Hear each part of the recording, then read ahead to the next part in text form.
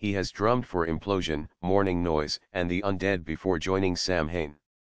He graduated in 1982 from Lodi High School in Lodi, New Jersey together with Eerie Von and Doyle Wolfgang von Frankenstein. Zing left Samhain in July 1985 shortly after the Unholy Passion EP was released. In 1999, Zing returned to Samhain for the reunion tour, playing the first half of the show on drums, and the second on bass. He later recorded with Son of Sam, which included AFI vocalist Davey Havok, then Danzig guitarist Todd Youth and former Samhain and Tiger Army drummer London May.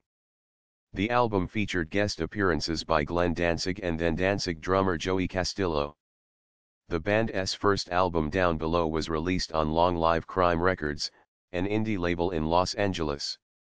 The band originally used the name Doomtree, but the name was changed due to legal reasons.